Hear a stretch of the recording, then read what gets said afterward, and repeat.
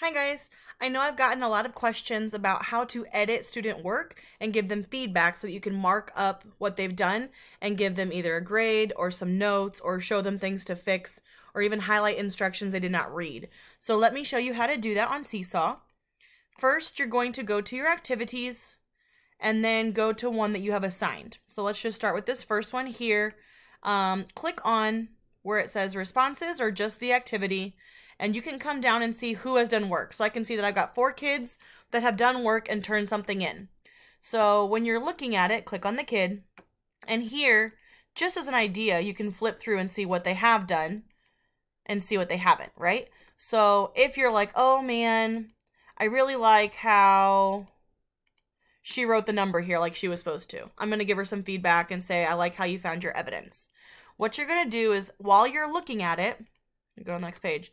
Click on these three dots and go to edit item. This will edit that student's work. So here on the side, I can see all of her work. I'm going to come here and I'm going to say, Kara, I love how you wrote the number three to show your explicit evidence. Way to go, right? and then you edit it as you need. If you have your Chromebook and you can write on the screen, you can just write.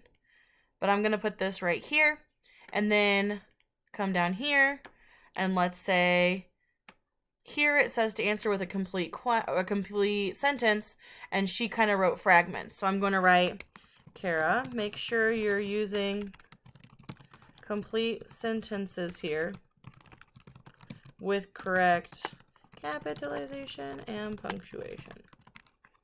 So, edit it as you need. You can change the background, play with it however you want. I'm going to put this right here.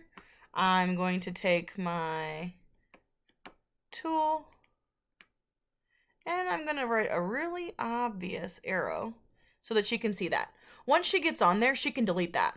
Okay, so go ahead and once you're finished making your corrections or comments, go to the green check, click OK, and then now that is on her work. She can do the same thing from home. So on her work, she'll go here, click on edit, right here, edit item, and she can go back in and edit. So both of us, back and forth, we can edit. So they can edit from home, we can edit from here and go back and forth. And what I might do is after I've left a feedback, I'm going to say, Kara, Great job on your assignment.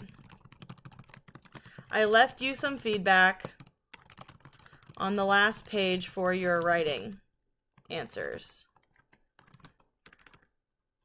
Take a look and make a few corrections. I love how you showed your evidence.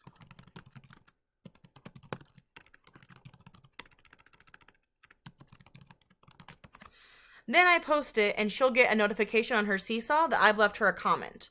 So she'll see that and know to go back. And then on my Seesaw from my e-learning day, I had a back and forth conversation with my kids and them saying, can you take a look now? It's good. And then me saying, yes, it's good. Or don't forget that part. So that way they can see. And sometimes what it is, is it's highlighting those tasks because a lot of my kids didn't show their work or a lot of my kids didn't highlight their evidence. So I'm going to go in there and circle with the highlighter really obviously and say, please take a look at this.